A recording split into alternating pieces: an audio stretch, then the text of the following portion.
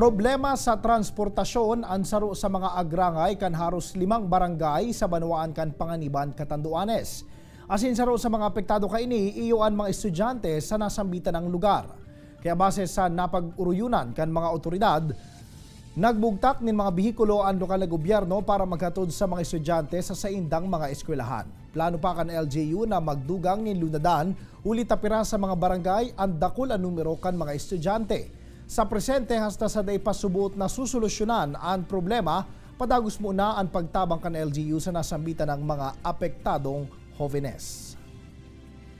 Itong mga students na to ma'am, um, inland barangays lang, sa area naman ng town proper, pero talagang wala po talagang other means of public transportation.